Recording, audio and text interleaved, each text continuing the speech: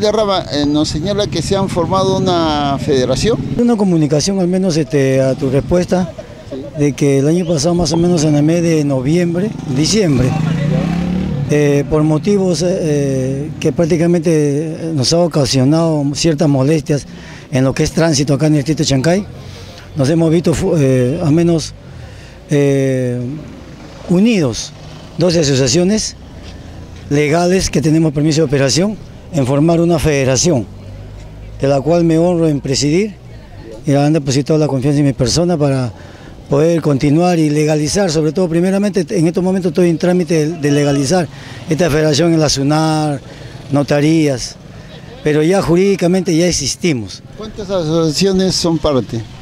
12 asociaciones del distrito de Chancay, que están somos la que tenemos prácticamente formalizado nuestro permiso de operación. ¿Esto debido a que, a que hay algún problema con lo que es el ordenamiento, con lo que es la, municipalidad en cuanto a lo que es fiscalizar al, vehículo menor? Bueno, tuvimos los primeros problemas que tuvimos fue el pase por la Plaza de Armas. Y el pase por la Plaza de Armas, este, hemos tenido que llegar a una sesión de consejo que se llevó en diciembre, del cual me dieron voz y voto en la municipalidad en esa sesión y en la cual, bueno, se quedó pues en que podemos pasar por la Plaza de Armas, claro, porque ahí se encuentran instituciones como el Banco de la Nación y, y este, el Seguro Social. Entonces, por ese motivo podemos dejar o recoger pasajeros en esa primera cuadra de la Plaza de Armas, que prácticamente nos, nos habían prohibido ingresar. Otro motivo también fue este, lo que es este, a veces de sistema eh, informalidad. Todavía poco a poco la municipalidad está haciendo operativos, veo que está haciendo operativos y de esa forma para poder acabar con la informalidad porque hay paraderos, hay demasiados informalidad. Por lo menos hay unos 300, 400 informales en estos momentos. Ustedes pueden ver Fonavi, Bolívar, mucha informalidad. Entonces tiene que acabarse eso con los operativos. Otro problema que tuvimos fue con los inspectores, no había inspectores.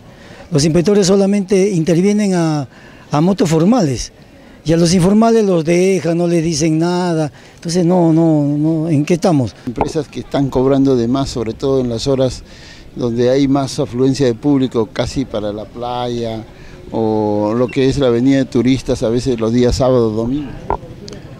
Bueno, ese es, como tú bien sabes, es la oferta y la demanda. Nosotros no podemos poner precio.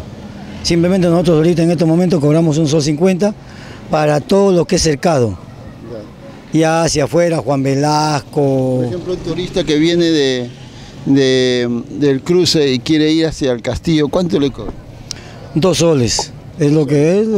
algunos, algunas, algunos vecinos... Estamos hablando de, mira, de, punta a punta prácticamente a, los extremos. Algunos vecinos nos han dicho que hay, claro que son algunas, ¿no? Algunos mototaxis que han exagerado en cuanto a los precios, cobran 5, 6 Bueno, tal vez de repente, no, claro. Es igual lo que sucede con los restaurantes, con los hoteles, que ahora que viene, por ejemplo, Semana Santa va a suceder